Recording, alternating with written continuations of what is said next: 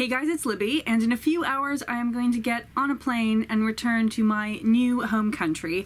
But while I'm still at my parents' house, I thought you guys might appreciate if we talked about some of the historical costumes on my mom's vintage romance novels. Now, I think Regency romance is the plurality, if not the majority, of historical romance subgenres, but there are other ones, so we will have several Regency romance novels, but we will bookend it with some other eras. I think that these are all from the 70s and 80s, which means they are all hand drawn as opposed to photographs. Um, and I should say I have slightly, I'm slightly less forgiving towards hand drawn um, costumes because if you're doing a photo shoot, you're kind of stuck with whatever costume is available and fits your model, and it costs money to change it to make it correct. But if you're just drawing it, it does not cost money to draw it more correctly. So, no leniency here. So we're going to start with a medieval romance called The Conqueror by Georgette Heyer. Now, romance novels about real people, yikes. Romance novels about my great, great, great, etc. grandparents, more yikes. I am a Plantagenet. Um, but perhaps the most yikes of all here are these boobs. they are so pointy this woman could not get through a TSA inspection. I know that mega pointy boobs were a thing in the mid 20th century, but in 1066, they literally did not have the technology in order to achieve this. But ignoring those, if we possibly can, this is not the worst medieval gown I have ever seen. Um, this is a version of a bliaut, which is the French you know, high fashion garment of the 11th century.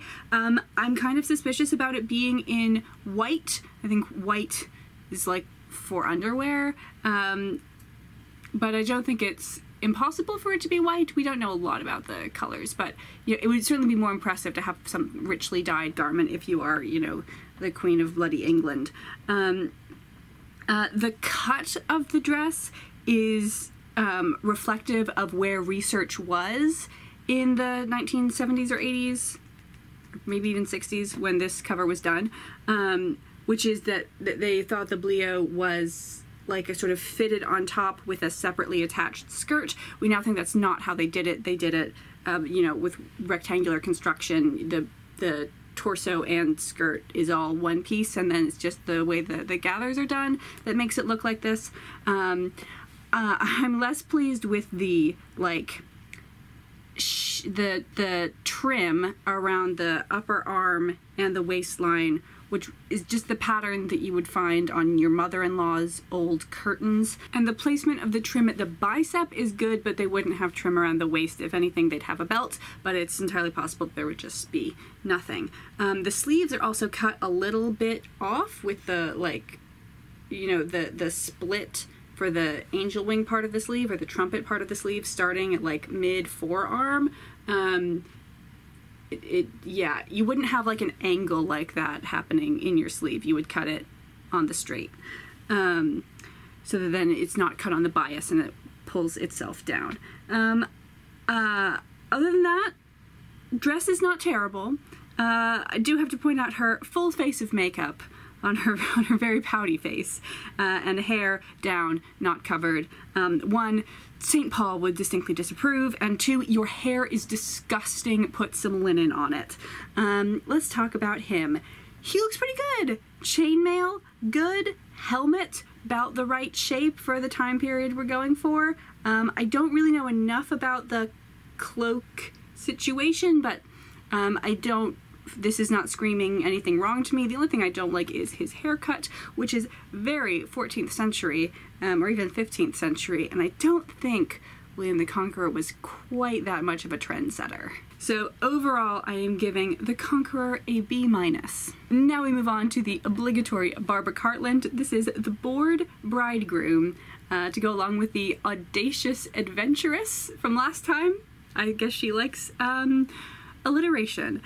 So first off, I'm not going to be talking about him at all because he's wearing a military uniform and military uniforms are kind of their own subset within the costuming world. which requires their own special set of knowledge um, about like which regiments were using which colors in which places and like what kinds of buttons did they have and how many and I just don't have any expertise in that area. The only thing that's looking a bit weird to me is his epaulets are red. I, ju- I just I feel like that's probably not right. Um, and I do like that there's a third person in this scene. There's this guy behind them who's like maybe dead, maybe taking a nap. What is he doing there? I don't know. Okay, let's talk about this lady. Um, so it says this is uh, somewhere on the back. It told me this is Regency. Oh yes, it said in 1804. Um, wh- so why is she dressed like a Dutch milkmaid from the early 20th century? She's wearing fucking clogs. She's wearing clogs. That's a Dutch thing. This is this is not set in Nederland. Additionally, this like jacket, skirt, apron, kerchief thing she's got going on would be great for the 18th century, but we are past that time, my dear. And even so, the poofage of the skirt is just the wonkiest thing I've ever seen. 18th century was about making the modifications at the hip level, not at the knee level. So like why is why is the angle mm, like that? It should be like that. Um, and then of course her hair is down. Gross. And she has this like layered cut with bangs, which would not work very well if you were trying to achieve actual Georgian hairstyles. So this one uh, just looking just rating her costume I'm going D. And now we have a Signet Regency romance. This is Dancing with Clara by Mary Balogh. I hope I'm pronouncing her name right. Um, okay, so first thing I have to say is that I really hope that he was consumed with a sudden passion and had to run out into this garden to embrace his lady love because he is missing half of his clothes. Um, and the only excuse is that he he did, simply did not have time to put them all on. Maybe that happens in the book. I really hope so. Um, but assuming that it didn't, he, should, he needs to be wearing a cravat to hold your shirt bloody closed, um, a waistcoat, and a coat. Just going out in shirt and pants means you are not all the way dressed. Next, I can't see a lot of it, but I can tell that the front closure on his pants is a modern front closure, which is like just one slit down the middle, which you zip slash button up. Um, it's not how they did it in the 18th, 19th century. You've got sort of, it's, it's complicated to explain, but you got sort of two sides that are closing and then buttoning, and then you have a flap that comes up over them and buttons here. And there's simply not the space to pull that off. Also, I think he has like pockets, like side pockets. No. that would ruin the graceful line of your hips. Men can also have graceful lines to their hips. Um, yeah, that's all I have to say about him. Uh, his hair is not terrible. Let's look at her. Okay, her hair is up. However, she is wearing evening wear in the daytime. And these sheer sleeves, I think like the peachiness underneath is supposed to be her skin, so she's just wearing sheer sleeves. I don't think they would do that. Uh, it's certainly not very common. You would have a sheer sleeve over other fabric. Um, in this case, either blue to match the main dress or white to match the trim. Uh, let's talk about this trim though. What in the heck is going on with the lace at her neckline and her waistline? That is not a Regency type of lace pattern. It's weird and pointy, and they would not have liked it. Also, I don't like the little, little frills coming out of her sleeves. I mean, one, they wouldn't have done that, and two, if you just made them blue, it would have looked better. Like, historically, it's a bad choice, and aesthetically, it's a bad choice. Um, she's also got a bonnet, which matches her dress identically. Um, the Georgians were not super concerned about being matchy-matchy all the time. Um, but the fact that it does match means that she has a bonnet to go with her evening dress, which is not a thing. Bonnets are for daytime wear, evening dress is for evening wear. Um, and also, the way it's cut is ridiculous. If you look at the angle between the brim and the crown, um, when she wears it, it would be standing up like this. It would be like framing her face like this, which is so dopey. Um, and the crowns of Regency bonnets were coming more at an angle, more forward like that. Okay, so this is a C because the cut of both of their clothes the amount that they have on is pretty good. Now we have a really quick one, An Eligible Connection by Elsie Lee. All I have to say about this one is no. Okay, let's move on to something slightly better. This is Lord Graywell's Dilemma by Lauren Matthews. This is another signet. Okay, so he looks pretty good. I would say his clothes look a little bit too big for him. They don't fit him super great. Um, and the the white, the triangle of whiteness in the middle, there's weird stuff going on in there. I don't know what's happening. I think there's he's got he's got like two collars. That's what it looks like. He's got one right up next to his face, and then one that's sort of been flapped down under his bow tie. Um, where's that second collar coming from? These are the questions that try men's souls. Um, let's look at her. Hair is half up, kind of working towards it, but not quite there.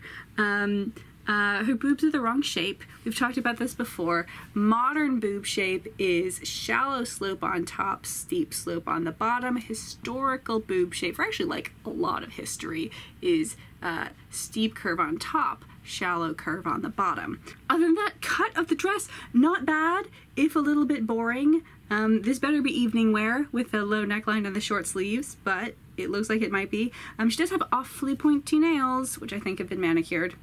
But yeah, overall, not bad. I give this a B. And now we will wrap up by hopping forward into the Victorian time period. This is from when books cost 60 cents. Okay, so I can't get any information from the back of the first couple pages, but it looks like we're in the 1850s for the most part, so I will be judging it based on that. Um, he looks pretty good. If I want to nitpick, Getting like real close up in his necktie, which maybe looks like a modern paisley, but I don't know, it could just be striped. I think he looks good, guys. He's even got this really crisp pleat uh, down the front of his pants leg, which is nice. Okay, she, um, pretty good. The color is very strong, and this is like right around the transition to aniline dyes when you can start to get those really strong colors. Um, so maybe if she's like high fashion, she'd be wearing this strong of a pink. Um, I mean, aesthetically, I don't like it that much, but that doesn't mean it's historically inaccurate. Um, regarding historical inaccuracy, her skirt is not quite as full as I think it should be. Uh, maybe just like 10% more full. And then the only other problem I see is she has a princess seam on the bodice. Um, we are too early for princess seams. This would this sort of jacket would only be fitted with a dart or two, which is sort of like a princess seam, but only it only goes up to the bust point. It doesn't like go up over the shoulder. So you wouldn't have two pieces in your bodice front. You just have one piece with darts taken in. But otherwise, I'm very pleased. A minus. Well done, Mary Ann Gibbs' cover designer. So hard to figure out who the cover designers are, so I know who to give credit to or who to blame. That's all I got for now. We had some very bad ones and some quite good ones. You never know what you're gonna get when you go diving into the vintage romances. Thank you for watching, guys. I'll see you later.